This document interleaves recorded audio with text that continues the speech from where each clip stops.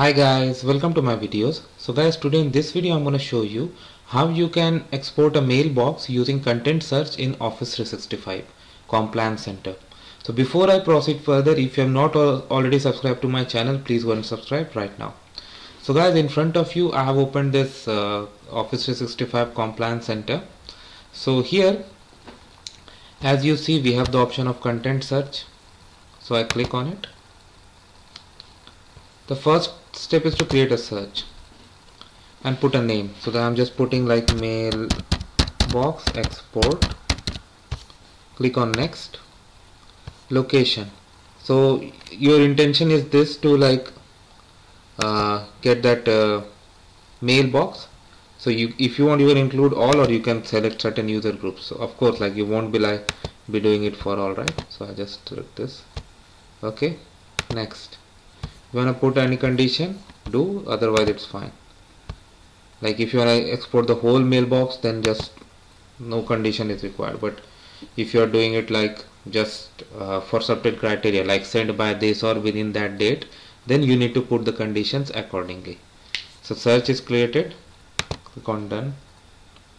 Okay now I'll let me open it. Actions so you can export result but right now the search is running like search is starting as you can see. So once that is done it would go there but oh I'm sorry I clicked on report. I don't want report. Instead I want export results. All items export. Okay why it is happening? Because it's not yet uh, the search is not yet completed. So we are going to give it some time okay so, so the results are out over here. Now let's see what happens. If I run on export results all items okay. Hopefully no error this time. Perfect no error job is created okay. So now if we go to export yeah.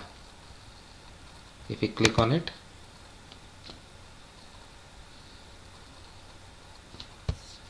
okay.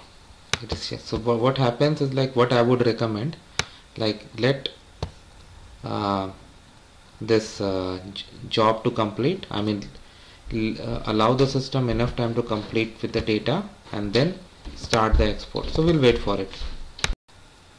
So guys this is done. Now the file is ready. So I'm gonna copy the export key and we can click on download results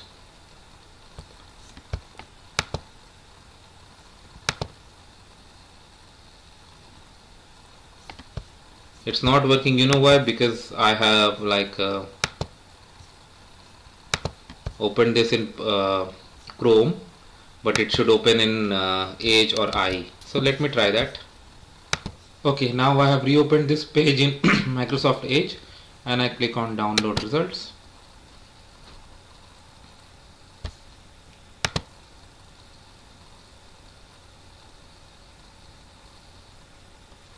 so the key uh, we need the key right? So let's copy the key. You can change it but up to you. And this is really important to protect the key.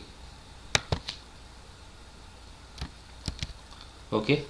And now select go to browse select the location and click on start and it will happen. So that's it guys. I hope you're gonna like this video. So please subscribe to the channel and share it. Thank you